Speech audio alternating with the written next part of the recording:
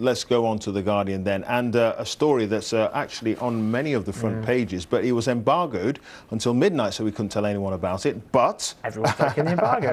well, David Cameron broke the embargo actually. Um, codebreaker Turing is given posthumous royal pardon, Clarke. Um, this a reflection really of what was a pretty terrible legal situation as far as homosexuality was concerned back when he was alive, but also also a reflection of his huge role in contributing to the to uh, winning the Second World War. Yeah, th this is uh, it's a magnificent gesture, you know, for a gentleman who, who was pivotal in, in turning about the fortunes of, of which way the, the World War would would come out. But we share actually different differing views on this because although this is something that we do see that is fully justified because of uh, of how ridiculous you know the laws were on, homosexuality.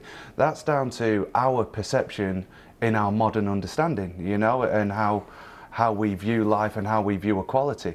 I, I think that if we're going to start to look over all of the incidents that have happened historically and start to um, you know change the outcome and posthumously change mm. decisions that were made throughout throughout history, then the Queen's going to be incredibly busy doling out pardon after pardon. And rightly so, we've got a lot to atone for. I mean, look, I have to say, I've had about an hour to think about this story, and I'm probably going to go a bit off script here because I think what I'm supposed to do is go, this is a great feel good story. Uh, we're finally laying to rest an injustice. Let's all move on.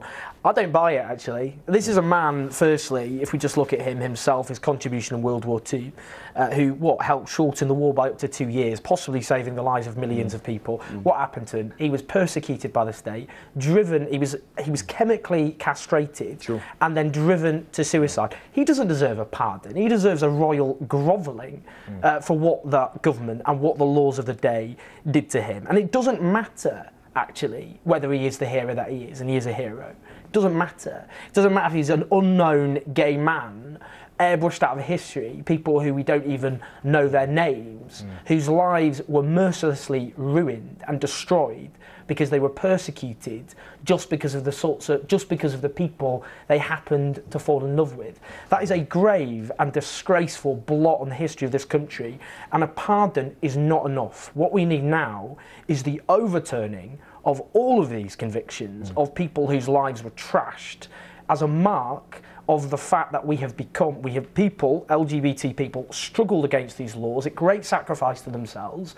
People are often spat at in the streets, sent to prison, and all the rest of it. They fought against these laws, and the least we can do to those people is to show as a country we've moved on, we've put a huge mark under that injustice, and we are purging it by saying that those laws were wrong, unjust, and disgusting and that is what we should do. We should overturn all of them. It's interesting, isn't it, Clarke? Because uh, Peter Tatchell, uh, the gay rights campaigner, says that you know there should be other pardons for other people who were treated shabbily as a result of the, the, the ban on homosexuality um, during that time. Um, would a blanket um, uh, pardon for all these people be fitting? Do you think?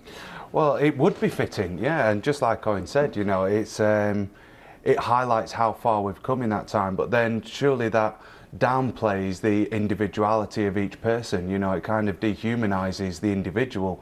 So if you're going to open this box, which which they have now done, then this is going to be the beginning of an incredibly long road.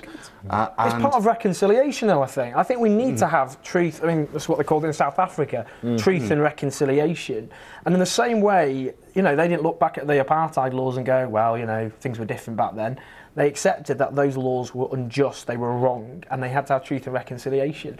And I think we need that same process when we look at our own injustices, mm. which was the literally the destruction of people's lives. These people's lives were ruined.